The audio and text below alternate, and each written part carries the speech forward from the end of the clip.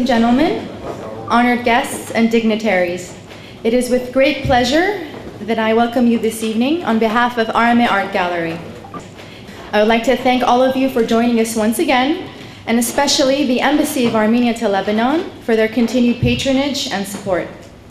We also have with us tonight the owner and director of Aramé Art Gallery, Dr. Aram Sarkisyan, joining us from Armenia, alongside the gallery's Middle East representative, Mr. Michael Vayedjian.